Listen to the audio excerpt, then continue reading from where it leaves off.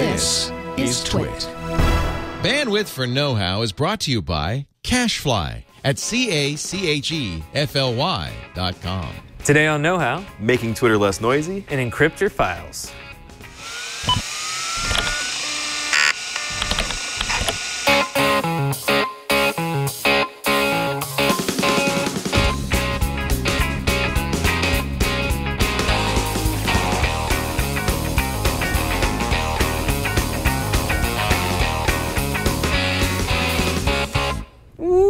Welcome to Know How. This is the show where we build, bend, break, and upgrade. I'm your host, Bryan Burnett. And I'm Nathan Olivarez Giles. And today we're uh, digging into Twitter because, I mean, we both use Twitter. I think Hal uses Twitter. Um, there's a lot of people out there who might find it kind of overwhelming, and we are talking about what is the, the ratio of followers versus, um, you know, people that you can pay attention to. Yeah, uh, Hal, if you wouldn't uh, mind going to my screen. Excuse me, Uh, Nate. Pronounced Alex. oh, Alex, Alex. Um, We're going to get that right one of these days. someday, someday. I I really, you know, I love Twitter. It's like one of my favorite social networks. It's especially exciting right now because it's going nuts due to the the NBA draft and of course, uh, you know, a lot of lot of other stuff going on. Um, but I'm following 796 people right now, almost 800, and pretty much once a year I have this ritual where I get close to following a thousand people, and you know, just because there's a lot of really interesting people I want to follow out there. Yeah. You know, I'm following, you know, other journalists, I'm following athletes, I'm following, you know, brands I like, I'm following comic book artists I like, Right. and actors, and all this, you know. Or just like uh, uh, cartoon characters and stuff like yeah, that. Yeah, yeah, everything. And it gets so noisy and so overwhelming that it's just it becomes like not fun to use anymore. It's like walking into a room where everybody, there's like a hundred people and they're all talking at the same time. Exactly, and they're talking over each other. It's hard to keep up. It becomes, frankly, a pain in the butt. So, uh, a couple years ago, uh, I found uh, a little kind of JavaScript, I guess you could call it a, a hack, but it, it, it was uh, actually, I found it on a YouTube video. Uh, and over the years, Twitter kind of blocked that. And the most recent version of this I found is actually on GitHub. Okay. Um, and basically, it's just a little bit of, of uh, JavaScript code. Uh, and you want to do this in Chrome or Firefox. I, I haven't quite found the same ability to do this uh, in uh, uh, Safari, Safari as of yet. But just go into um, Chrome, go to View, then go to your developer tools and go into your JavaScript console. And uh, it's it's it's just like a simple little little bit of code right here, uh, and then you just copy and paste that uh, into the JavaScript console, and it will um, unfollow people from Twitter for you. Now you can already see these folks that I was following just a second ago. It now shows them as me not following them anymore. Um, You're unfollowing people live right now? yeah, I'm unfollowing people live right now. Please, he- actually, Heather's a, great journalist at CNN. She's one of my friends. I'm gonna want to follow her back. I hope she doesn't take this personal. Um, but every once in a while, as you're doing this, Twitter will recognize what you're doing, and then it'll actually stop that. So you just got to paste that uh, little bit of code again, and then as you can see, it it does it. And Yeah. so you just kind of keep scrolling, and you just kind of see where it stops, and then when it stops, you just paste it again, and then you just kind of go through the process. Now, for about 800 people, it might take you 15 minutes or so of, of doing this. It's a bit of a chore, uh, but it can make Twitter a much more harmonious place. Now, along with that, then you got to start over, and you're starting from zero, and you're like, okay, who do I want to follow? Right. The first thing that I do is I actually just think to myself, okay, when I go to Twitter, who do, who do I want to see? Right? And then if I can't remember you just based off my memory, then you might not have been that important uh, in my in my daily life. Now, and that might sound a bit harsh, and I'm sorry, but you got to keep it real here. You know, like that's some just, people are better tweeters, twitterers than than others. you know? Exactly. Now, another uh, uh tip that I might suggest. This is something that I've doing, done. I created a private list called Reboot, and right now it's about 43 people, and I and I add to it from time to time. But these are people that I know I'm going to always want to follow on Twitter. So after I totally get rid of everybody. I start from zero. I come back in here, and then I just start following people again. Um, you know, these are some friends and some people that I know and some people that I don't know, and uh, folks that I just know that I'm going to want to follow again. So that's kind of a way to to to start from zero. Okay, so like after you've done the nuclear option, Yeah. and, and just decimated your entire followership or Yeah. your following, uh, then you have your your list of survivors that you go back you to. have your list of survivors exactly you know it, it, it's it's kind of a, a brutal way to, to talk about it we're talking about hunger games approach to, Right. to what you got we're just you know everybody's going out only so many people will survive Yeah. uh, and now inevitably some folks get offended and they're like hey why did you unfollow me or whatever why aren't you following anymore try to dm Was it you something I said? yeah, yeah. And so I always never I always have to say, okay, listen, I'm you know, I'm doing my, you know, one to two time a year ritual of unfollowing everybody Yeah. and starting from zero on Twitter. This is really the only social network that I do that Yeah. uh, with. You know, I wish there was something similar with Instagram because Instagram for me is becoming a place where it's becoming uh, uh, too noisy, and I wish there were some features like this. Uh, but since that's just a mobile app with, you know, you can't really either. You know, they have a website, but it's pretty sparse. Yeah, it's not there's the not really an equivalent uh, to, like that. Um, Do you ever do that on Facebook too? Go through your, your list of friends and uh, Uh, get rid you of know, a few or unlist them? I need to do that. I've, I did that years ago with Facebook, and I actually really want to do that with LinkedIn too, because I get requests from people on LinkedIn. It's like, I don't know you. I've never worked with you. you know, this is a professional social network. But like, please why- endorse me. I, Yeah, yeah, but yeah, and it's like, well, okay, I guess that's networking. You have to kind of figure it out for yourself. Yeah. Uh, but I know there's definitely people on, on LinkedIn that I'm connected to that I frankly wish I wasn't. Um, but but Twitter, thankfully, this is the easiest social network to actually start from zero with. Well, and I Um, think it's the the most necessary social network to do that with because it's just so so much posting of things Yeah. happening over. It's just a waterfall of Yeah. stuff. Like I know um, there's other interfaces that you can use, and Twitter's although has been very notoriously cut out third-party app developers and stuff. Yeah. But uh, what's the the one that you use, Alex, for displaying a bunch of tweets and things like that? It's not TweetDeck, is it? Uh, Tweetium. Tweetium. It's just a Windows uh, UWP app. Yeah. Do you use any other like display ways to display Twitter, or you just go straight you know, to the site? I used to, uh, but now I'm pretty much just going straight to the site because they've really cut off a lot of those third-party apps, and I kind of feel like uh, t- you know TweetDeck and some others. They've just kind of stopped updating and adding new features, and they've got to feel a bit stale. And frankly, the stuff where there there is the most experimentation, where there is the most you know I don't want to say innovation, but the no, most new ideas, uh, is happening on Twitter's own website, their core product, as well as their mobile app. So um, I used to use some third-party clients, um, but these days, no, I'm just sticking to their website because that's frankly the most exciting place to consume Twitter right now. Okay. Were there any other tips that you had for like hunting down uh, hashtags or Yeah. relevant stuff like that? Yeah, so this is all about making Twitter harmonious and, you know, making it not a pain to hang out in. um, and one of the things that uh, I think is a good tip for folks is really kind of thinking about how you're using Twitter versus how you, you might have used it before. Uh, for me, I've always used it in a, in a somewhat professional context. But uh, when I first hopped on, like back in 2007, 2008, Early adopter. yeah, yeah, well, a little early, you know, not not not the, not the first by any means. I don't but think I started using Twitter until I started working at Twit, and that was like 2011. Oh, okay. There you go. Well, earlier than you, but Part of the reason why I don't have Cranky Hippo, I'm Cranky underscore Hippo, is for that reason. for that reason, bummer, bummer. If if you have at Cranky Hippo, consider giving it to this guy. that guy has not posted in years. I hate that. I hate that. I I I. I have a similar situation with an Xbox gamer tag I want with someone who hasn't posted it in years. He doesn't Um, even have an icon or anything. See, that's not heck? much. That that that that's that's brutal. Justin Fisher, if you're watching and listening, what would the process Help be? Would I have out. to talk, uh, send him a message or something? Like, I'm not sure. I, know. th- I think there are situations where if it's your actual brand, you can reach out to Twitter. If it's your business, you can reach out to Twitter and they'll do something for you. If someone's sitting on Uh-huh. an account like that, and that's very much someone who's not using an account, who's basically sitting on that handle, that username, Yeah. might not even be a real person, you should reach out to Twitter about that because, you know, uh, it's, it's business related. They have not tweeted since 2009. Uh, and, it, you know, maybe we should do a, a way to figure out how to verify yourself too. Y- yeah. Because are you verified on Twitter? I am verified, but that was a situation where because I was a tech journalist, uh, they reached out to me and they said, "Hey, we want to get you verified. You have to do these things." Okay. It was through the newsroom I was working in at the time, um, but uh, you know, I, I don't know how to how to. Get I knew someone who used to work on the network who created like two or three different accounts for themselves that were very similar to the one that they wanted Uh-huh. Didn't verified. Padre have multiple accounts at one time? he may have. Yeah, I'm I- not thinking. He probably did this too. One now, but I thought he had like two at one point.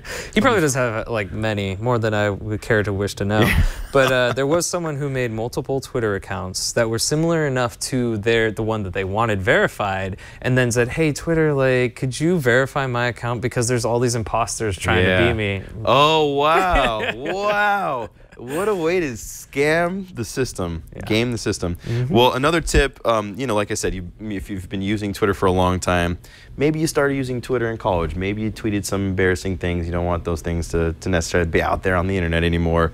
Uh, Twitter has some decent advanced search tools.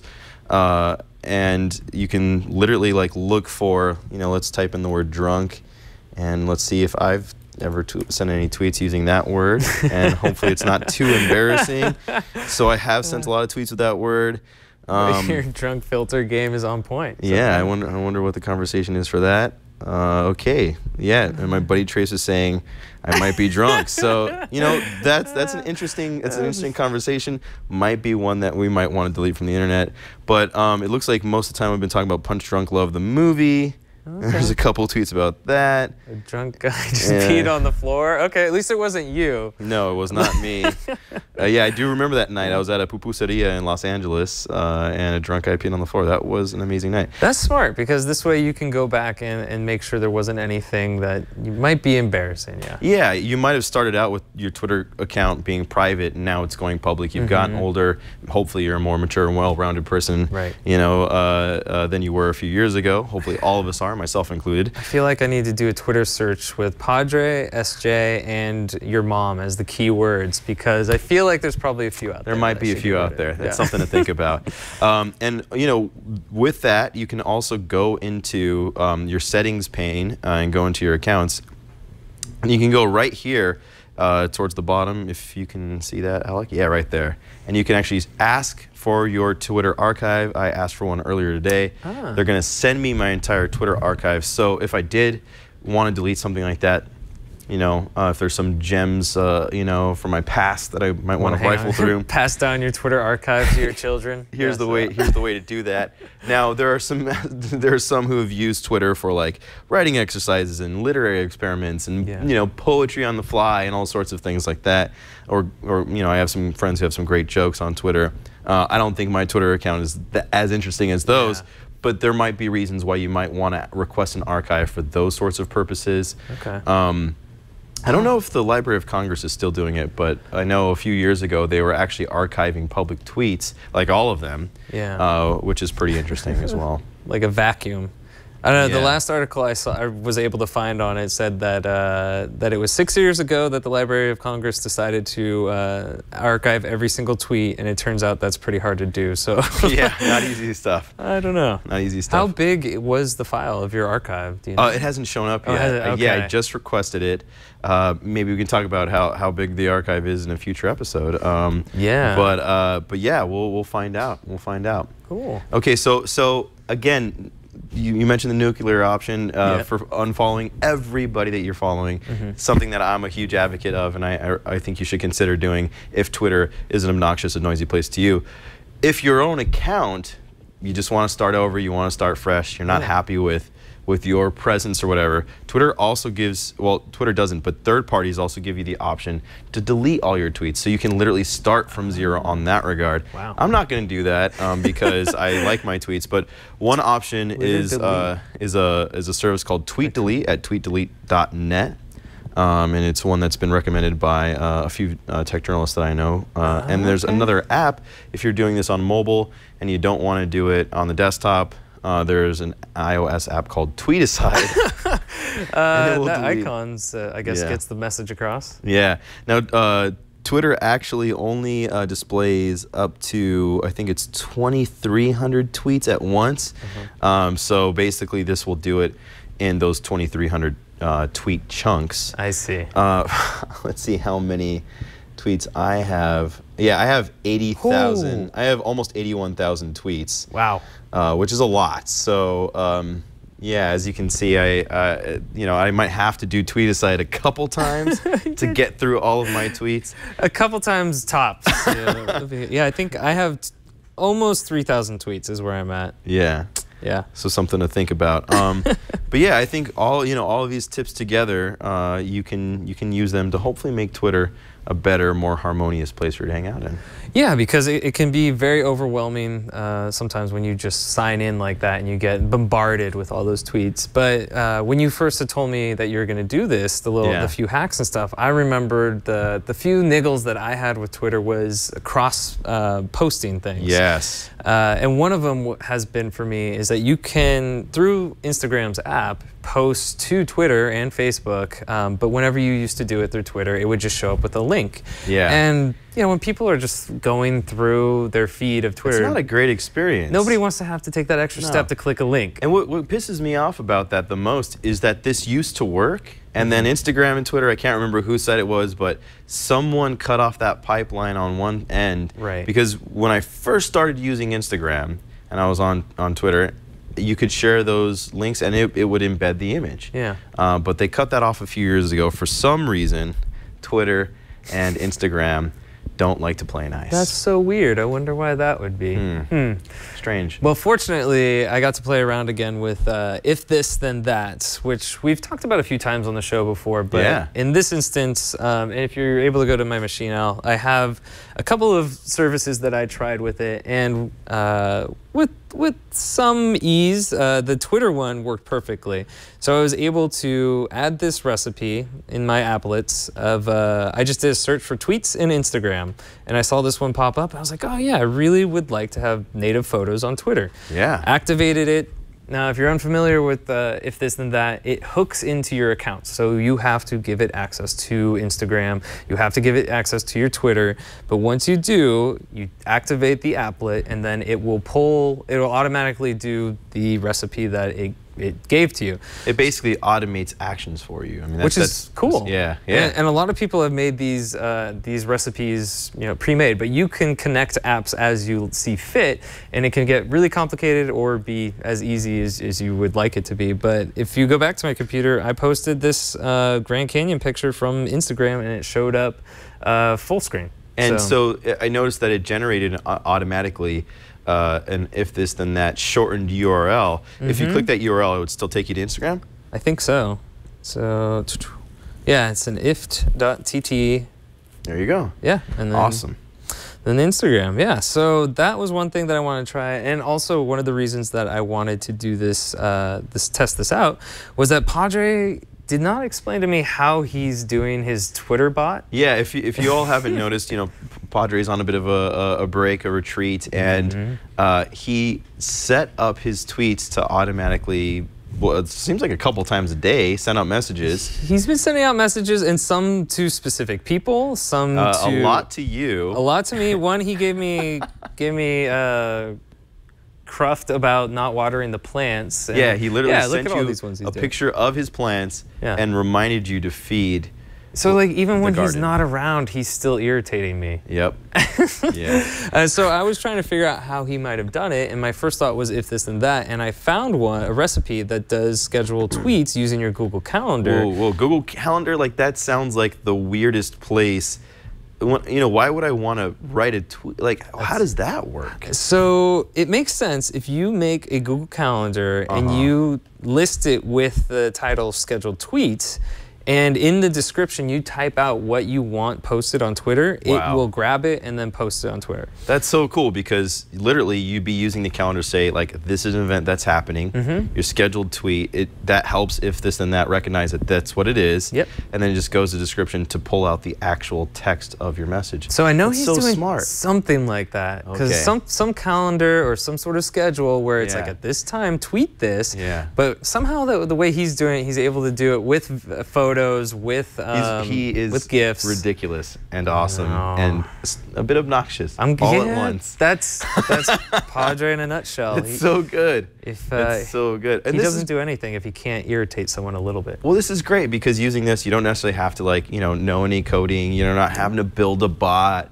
Mm-hmm. you're literally just setting up an automated process. That is that is a cool recipe. Yeah, yeah. So uh, definitely check out if this and that if you just want to see what you can play around with. Um, but remember that it's going to hook into a lot of different services that you might use, which may be helpful. Or you know, if you for, there have been recipes that I've set up that I forgot about. Oh, Like yeah. there's a Foursquare one that I Uh-huh. stopped using a long time ago, but it was like every time I would check in at a place, it would post it or something or tweet it, and like it's Oh. really easy to forget recipes sometimes. Yeah, yeah. Um, but that one didn't work anymore. But cool. I think that's pretty much everything. Are you still using Foursquare or? have. No, because Yeah. what did it turn it, into? it, became Swarm. Swarm, but I, th- you know, it's been such a long time. I, I I, used on it. Swarm when it first came out, and I really wasn't into I it. had one reason to use it, and that was to get mayorship of like certain areas. And then once that stopped being fun, I just gave up. Why I don't understand why mayorship was such a big deal, but I was so into that.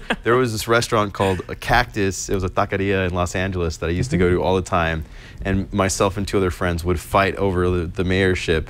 Usually we were having tacos with each other at the same time. It was like who would check in at what time. Yeah. But that mayorship went back and forth between the three of us. Well, that Pretty was pretty ridiculous. The breakfast place outside of our old studio was the place that I wanted to get Okay. mayorship at, Hallie's, and I think I fought Alex about it. Like I don't know, we went back and forth a few times over the course of like six months or something. Wow. And then I just gave up. I'm like, I think we were both it." winners in that one. Yes, Everyone ev- won. Everybody's a winner when you strive to be the mayor of a virtual world. All right, I'm gonna throw out something super obscure, and Yeah. you all may or may not remember it. But do you all remember Gowalla?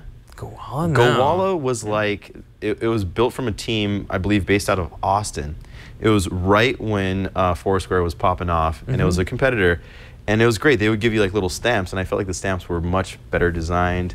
I'm not sure if uh, if, if anyone out there uh, watching remembers Gowalla, Yeah. but if you do, uh, go mention that in the Know How Google Plus community. If you have memories or screenshots of Gowalla, Yeah. like I would love to know because I genuinely really liked Gowalla. I was bummed when it went away. I can't remember who bought it. I want to say Facebook bought the team, but I'm not sure.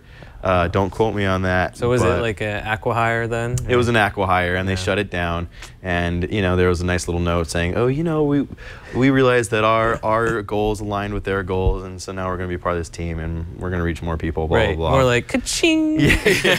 But I was genuinely bummed that Yeah. Gowalla went away. But rest in peace, Gowalla. Uh, you know, no offense to Foursquare, but Gowalla was where it's at. Yeah, that, that was before. I don't know. I did never heard of it, but Yeah. I, I sound sounds like I missed out. Uh, well, so you know how you talk, talked about earlier about archiving and downloading your uh, your Twitter stuff. Yeah. That might be something you would want to encrypt because if you download it and someone has access to it, then they could then dive through all those tweets that you were you're like, well, I deleted all these, but I, I made an archive just just in case. The evidence would be there. That's The evidence would still be there. You might not want people snooping through your stuff. Exactly. And uh, so last week we talked about some of the cloud services that we used. Yeah, cloud services, and we also talked about local storage. Mm-hmm. Basically, how to store the things you care about remotely and locally. Right. So I thought it would be a good chance to talk about some encryption tools that I use. Um, they're all free, and, and some of them are built into the OSs. But the some of the reasons why you might want to encrypt something, it's it's the same. I always like kind of it's the equivalent of closing the blinds on your house or locking your front door. Yep. You might not necessarily have anything to hide, but what you don't want people digging through your photos or your Twitter archive and stuff like Totally. that. You know. you might Um, have, you know, important documents, financial documents, tax documents. Mm-hmm. Who knows? Yeah, bills, receipts. Um, I'm sure I've sent stuff to Alex that I know. No, don't want anyone That to you might ever not see. want on the internet. yeah, exactly.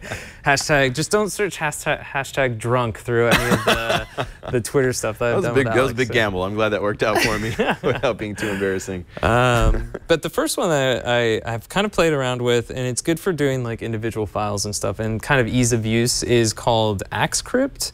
Okay. Um, this is a Windows. It works on Windows. It'll work on iOS and Google Play. Uh, not a lot of high reviews though, uh, as far as the mobile app's concerned. But a lot of people recommended this because you can. Um, it's easy for doing groups of files that are on like Dropbox or something like that. Oh, nice. And so if you're able to go to my screen, Alex, this is the interface. It's pretty simple. Um, some of the premium features like uh, setting a date to decrypt or sending it to someone uh, someone else who could like adding a list of users who could decrypt it. Uh, some of those features are like uh, you have to pay for that. But for the free version, you can just encrypt stuff. Uh, one thing that I encrypted was Burke's shipping, and that was when I Burke asked me to buy something for him on eBay, Okay. and so he, but he asked for the shipping address and stuff, and so I was like, okay, well I'll send that to you, but I don't want you know someone to get your information, so I'll encrypt this and send it to you via email. Sounds like a good call. And so if I've moved it over to a thumb drive, and it's encrypted right now. It's got the little logo on it. Nice. Um, but if you don't have this app or the password, you can't decrypt it. you can't decrypt it. And I'm pretty sure I remember what the, the password was. Uh, was it know how show? I made a couple different versions of these files to make sure that they worked. Oh, mobile apps are now included. Would you like to know more? Nope. Nope. so that's one of the downsides to and the well, yeah, the free versions version. are always loaded with apps. It's gonna You- have your you little- saw up there, little try pop-out. premium. You saw pop. You, you can show this screen now. Uh, this was this is the image, but Oh, if you great. Mm-hmm. didn't know the password, uh, you would never be able to access this. And you know the information here is is actually Twit's address. So, and I bought him a an ECU for his motorcycle. Oh, so- very cool. But he paid me, so it was cool. okay, seventy-five bucks. That's not that's not a terrible price. no, but it didn't fix the problem he was having with his motorcycle. So bummer for Burke. though. Bummer. but nobody was able to access that information except for me and him But when that I was secure. when I sent him that uh, encryption. Uh, the other device, other uh, encryption software that is included with Windows and it has been since like Vista Yeah. um, is called BitLocker, and And that's this is built directly into the Windows operating system. yeah, and so you can do so. Unlike the last one I talked about, Axe, uh, what was it? Axe, whatever, uh, yeah, Axcrypt. Axcrypt, Axcrypt. where you can only do individual files with that one. Uh, BitLocker will let you do full drive encryption. So if you wanted to do your OS drive, or if you wanted to do a um, like a USB storage uh, drive, this would be one that you could do the whole drive with. Like right now, you can see I have a USB uh, drive plugged in called Silverlit. I don't know why, but I can turn on BitLocker. I'm pretty sure this is one of the USB drives I got from like a press event. You know? Okay. yeah. But you click on it, you can say use password to unlock the drive, which uh, should be sufficient for this. And if you if I open up the drive right now, I can access it. I've got a couple of podcasts that uh, I've listened to on this drive, and and Burke's Burke's uh, JPEG, so it's going to be double encryption. but uh, let's see, I'll do know how show because I think with this one you have to have uh, a certain length and character. It's like any other uh, password service where like you want it to be a tough password, but you also want it to be one that you remember. Yeah, a bit of a passphrase. But of course, you know, while we're doing this, of course, know how show is just some- you know something Bryan's using specifically to test his stuff out. if you Yeah. were actually coming up with a password, use some capital letters to mix things up. Use some numbers. Use some symbols. Yep. Make it tough. And then this is an option for if you want a recovery key. So if you need to access this uh, with with your key, you can save it to a file or print it the recovery key. I'm just going to save the file for now and, Great. and but don't you know leave this key somewhere where other people can read it because then they can get the key and then use that to unencrypt your files. Makes sense. Uh, so let's see. Choose how much of your drive you want to encrypt. Uh, if you do the f- just the used disk space, it'll go faster, but you can do the entire drive. I'm just gonna do the disk space. This is a small drive. It took me like maybe a couple minutes And to so, encrypt it. just the disk space. That's just basically the files that you have on this drive here, but not like the full operating not system. Not the full ones. sort of- So if you have a really big drive and you do the full drive, it's Yeah. gonna take a while. Yeah, Um, yeah. But this will just do the the files that are stored locally, just a small subsection of the files. That's awesome, and since it's built into Windows, it's smart enough to recognize like this is a file versus this is an app or something. Like that. Yeah. This is Yeah. what we should encrypt versus, nah, it's okay to leave that one alone. right? Yeah. Uh, well, Alex pointed out too, if you encrypt your drive and you need to, what was it? If you were going to do a fresh install, uh, you couldn't get if into your the system OS. drive is is uh, encrypted with BitLocker tied to your account, to your Right. Microsoft account that you're signing in with, nobody else can open that hard drive or access that hard drive Right. without that without the recovery key. So like if, if, if Bryan gave me his laptop and said, "Here, Nate, you can you can have it now. Hand me down." you won't be able to I wouldn't log be able in to. or, or without his password or get into anything unless you boot from some other drive and, and wipe the, the hard drive completely. so Right. so decrypt before you give it to a friend or family member. ideally yes Ideally. Okay, well, Well, yeah. honestly, if you're De- doing that- decrypt and wipe I de- And wipe, exactly. yeah. That's what I was gonna say. Is decrypt and wipe. You just don't want to ever hand hand it that stuff. over, Right. so. Or if you're sending in, uh, like, for example, if you're sending in something for repair, yeah. or if you're sending in something like they send you a refurbished one and they want you to send your old one back, Yeah. wipe them. Like, yeah, if you have anything on there, just wipe them. Yeah. Uh, I have a phone that I have to send back and do that with. But It's funny. I actually did this recently with a Windows Surface Book laptop. Uh, the- you know, the one with the cloth keyboard or whatever. Um, I was doing a first look on it for the new screensavers, handing it off to Leo. He was going to test it out. Uh, well, and I totally uh, using the uh, the built-in uh, res- you know reset options in Windows. Totally, like totally reset the entire computer, the entire operating system, uh-huh. everything. It it I think we had it. It's like took overnight. It like oh, to reset everything. Yeah, it everything. took you hours. have an option to do a quick wipe or a yeah thorough wipe Yeah, Is we that did a thorough wipe. Is that a zero fill I then? think option? essentially Oh yeah, Yeah. it just it just gone. So that's what you should use if you're going to be giving it to somebody else or selling it or Yeah. turning it in. But if you're just wiping it just to reset it for your own sake, then you don't need to bother with that. yeah, Right. But it, I was surprised by how long it took. Yeah, and for people who might not know, uh, zero filling a drive is not only just deleting the headers for the file that are saved to the drive, it's actually writing over the old data because when you delete a file, it doesn't actually delete it. Yeah, it just deletes doesn't- the directory. Exactly. It doesn't recognize that it's there anymore, so that if something else comes along the way to be writ- written over the top of it, it's free to do so with that space. But what that means is if somebody did get a hold of your device, pulls your hard drive out, they could find a way to access Right. those so-called deleted files. So, but uh, if you're going to be encrypting a USB drive, you can do this. And I would recommend doing compatible mode if you're going to be moving a drive to from device to device. Um, you could do new encryption mode, but Microsoft recommends that's for just drives that are like basically the OS drive. Uh, and then hit encryption. And this shouldn't take too long. Let's see. 1.3. Oh, this looks like it's going to take just as long as it did to encrypt the full drive. Well, all right. you go ahead and encrypt that whole drive there. 5.9. You encrypt that drive We'll just let this run out and then I will how- speed it up in and editing. see how long it takes. So if you, oh, there it goes. It's done. Hey, cool. It went really fast, actually. Um, the encryption of D is complete. I close it. So if I take out this drive and I put it back into the machine, it will pop up with not accessible. Yeah, accessible.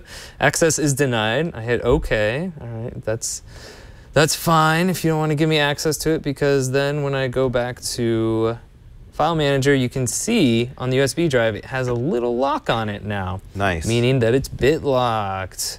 So now I have to remember the password that is prompting me for, and I'm pretty sure it was know how show. uh, unlock, there you and go. And boom, I've got access to all that whole drive now is uh, is mine again. So I have access to those those files. The Adventures of Noodle Plash. I, uh, uh, that's a Adventures Little, and that's a little bit of a uh, underrated movie. Oh, oh, you were reading the title? Yeah, the, Yeah. Have you ever heard of How Did This Get Made? Uh, another podcast? No, no, no. I didn't. It's like uh, they just review terrible, terrible movies. Yeah, yeah. It, this is this is one.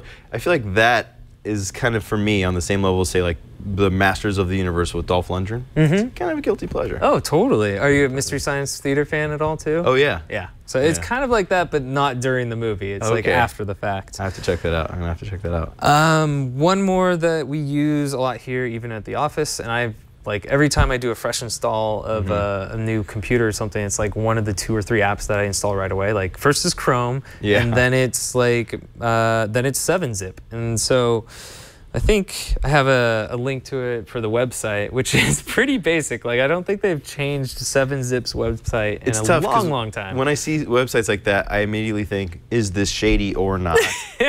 right, right. It does give that off a little bit, but 7-Zip's been around for a long time, and it works with Windows, Mac, and Linux. Nice. Um, and basically, it's a archival um, program, so you can compress multiple files into a zip file, which makes them a lot easier uh, to send via email or or USB or whatever. oh, awesome. But if you are using it to compress files, you can also add encryption to it. Um, it's also free, I think. So if you had, say, this USB drive that I've got, and I just want to encrypt mm, two of these files Uh-huh. here.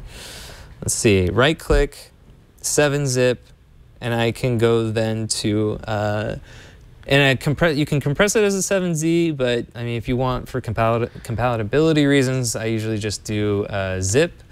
I do a compress to a Mhm. zip. I might have done to an email. Hold on. There's no email Oh, program. okay. so a lot of it is for like emailing, um, Yeah. compressing and then emailing. Let's see, 7-zip. Maybe just add to archive. Okay, yeah. You go to add to archive and then you can drill down to what specifications you want. So oh, I, great. I will do um, to podcast mp3 dot zip. Uh, normal compression, you can choose a bunch of different. Normal's fine. You don't really have to mess with most of these settings, but the one Mhm. that I wanted to focus on is now encryption. Encryption. And you can do AES 256 or zip crypto. Um, Great. either one works fine. and Uh, so then if you put in this password and say you send me these files, do I have to know this password to decrypt them as well? You do, you do, but you Awesome. don't have to have 7-zip to, To be do it. able to access it. Great. So just to know, it's know-how. Okay. So yeah, say prior we we've discussed that I'm gonna send you a file. Mm-hmm. The password is know-how. I'm not gonna let. I'm just gonna verbally tell you that. Somehow we we have discussed this in the future in In the in the future past. in the future. of, days of the future future tense. past here on Exactly. All right. And Cool. then I send that file to you. You uh, oh, you open it on your computer, use the password, and it uncompresses, and then you now have those files. awesome. That is easy. Although I think I may have saved it to my documents area. You should probably specify where you want it to go. Where did it go? This is a stop down, Alex. where the hell did it go? Mm. want to see all your Doom Uh, ask All Cortana. Ask Cortana where it's at. I disabled Cortana. Oh, did you? Actually, I don't know if I did on this machine, but oh no, there it is. I guess. What the hell? All right. Well, that was a stop down. I don't- we'll pick up here. And so after doing 7-zip and compressing it with the encryption, it just looks like a normal zip compressed zip file. And, And there it is. there it is. And there's the two files in there. And I can send that along to you. And when you try and open it, it will ask you for a password. I love it. I love it. Definitely, definitely worth using. You know, it's it's great to offer this extra level of con, uh, encryption because maybe you're using something like Gmail. It's encrypted in transit, but Mhm. Google is decrypting it uh, on on the viewer end so that they can use it to to target ads to you. Right, So they can use it to search through what you got. And if you want to keep something extra private from even your service providers, Mm-hmm. this is sounds like a good option to do that. Yeah, definitely. Uh, I mean, one thing to note is no encryption is infallible, Yep. uh, no matter how strong it is. But these are some of the ways that you can, you know, don't be the low hanging fruit, basically. yeah, yeah Like, yeah. there are still programs out there that can crack, can brute force a lot of these things. And if you do a crummy password on your encryption, it doesn't matter. Like, if, or if you leave your key saved to your desktop and someone gets a hold of that. yeah, I'm um, glad you mentioned that. I mean, you know, the truth is that sometimes the human element is the biggest vulnerability in all of this stuff, and you really got to be on your game uh, with your passwords and keeping everything organized and, and legit uh, if you're going to be using these tools. Because if you're using all these tools and you got the same password everywhere, Mm-hmm. you're just asking to be taken advantage of here. You, yeah, you definitely are. And uh, I didn't want to leave Mac users out, so the last one I have uh, listed here is called File File Vault, which I've used on all my Macs. Yeah, Um, actually, Alex, if you go to, to, to my computer, uh, Uh, it's it's right here in your system preferences. You can go to security and privacy, and there you go. Boom. Super easy to turn on. It basically just has an on or an off option. Yeah, and you can also choose to uh, save your key uh, locally, or you can save. I think you can back it up to iCloud. So then, if later you need to recover, Yep. you know, something, you can get it through your iCloud services. So Yeah, there's some there's some great options there. Uh, every single Mac that I have, I turn this on. Not a bad idea. Yep. So, so that's it should be everything. I think we covered Twitter hacks and tips and tricks, and then what to do when you have downloaded all your archived tweets, encrypt them. Uh, but uh, yeah, it was a fun episode. I guess is there anything else that you feel like you we left out? No, I feel like we covered the bases, and you know, just as you mentioned earlier, with the previous episode talking about cloud storage and uh, portable hard drives and uh, you know network local hard drives, all of these things kind of come together to help you manage and take care of the stuff that you got. So if you haven't uh, you know listened and, and watched that previous episode, go check that out. But you know, really. With these two uh, companion pieces together, Yeah. I think we got your uh, bases covered. Uh, I mean, and hey, we talked about it a lot in the last episode. We didn't talk about it here, but you know, turning on two-factor authentication, you know, wherever possible, uh, uh, and Twitter offers that as well. Uh, there's there's one more final Twitter tip for you. That's right. Yeah, you talked about the the last episode, and in, in case somebody out there has missed it, you could find it at twit.tv/kh, and not only will you find that past episode, but all the past episodes we've ever done. And if you did miss that episode, it's probably because you have not subscribed yet, which you can do there, and download the episode. Also, all the apps that I mentioned, uh, all the tips that we have, will be listed in the show notes, so you can find those those URLs, the website, and everything. But uh, if you want, if you have tips, suggestions, what your method of encryption is, or what your what you like to do when you're backing stuff up, or even using Twitter, uh, you can join the community of the know-it-alls. The Kitas is what me and Padre call them, uh, and post your projects there. Ask questions. Talk Is- about Gowalla. I, Gowalla- I wanna yes. See, I want to know if I'm the only person who remembers Gowalla. Talk about Gowalla on the Google Plus community. I'm in it too. Uh, Yeah, post some can have a pictures too. I want to Yeah. see what these icons used to. I swear like. it exists. I don't know if Al can, uh, can can find it on the internet. and bring it up real quick, Al. But but it's a real thing. I didn't make this app up. Yeah, right. It's a good idea though. it sounds like Koala. there you go. It has a Wikipedia page. It's true. When did it close? Does it say August 2000? Closed in 2012. Oh, 2012. And does it say who bought it? Oh, and look, venture capital funding led by Oh. uh, a few different folks, including Kevin Rode. Uh, Kevin Rose and Jason Calacanis, a couple friends Of of, Twit, a couple yeah. friends of the network, and and, and started in down in Austin, Texas. I tell you, I I, I almost nailed it. who, did, did it say who bought it? I want to. Can we fact check that? by Facebook was Facebook. Facebook. I got call. it. You got I it. got it. Nice. All right. Wow. So I, yeah, I- should I know my obscure Gowalla history. I don't know why I'm proud of You're that. a big but there- Koala fan. but don't let that uh, make you stop from posting in the Google Plus. Yeah, if that's you use point Koala, here. we'd like to hear about it. Uh, but that's not the only place you can find us on the socials. You can contact me or Nate directly. I'm at cranky underscore underscore hippo.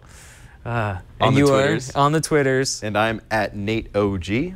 And well, he's he's uh, yeah, Padre. You can follow him too. He's been still posting stuff even though he's completely disconnected from the internet. He just won't leave you alone. Ah, may all the episodes be easy like this. He's tormenting me. clearly, clearly.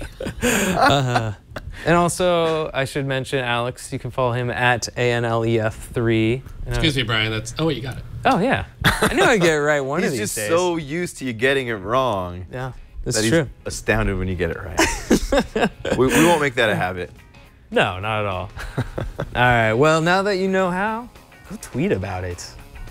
Boom, done, encrypted. Encrypt this Yeah, you should episode. just get like a big lock that just goes wow like right at the end of it.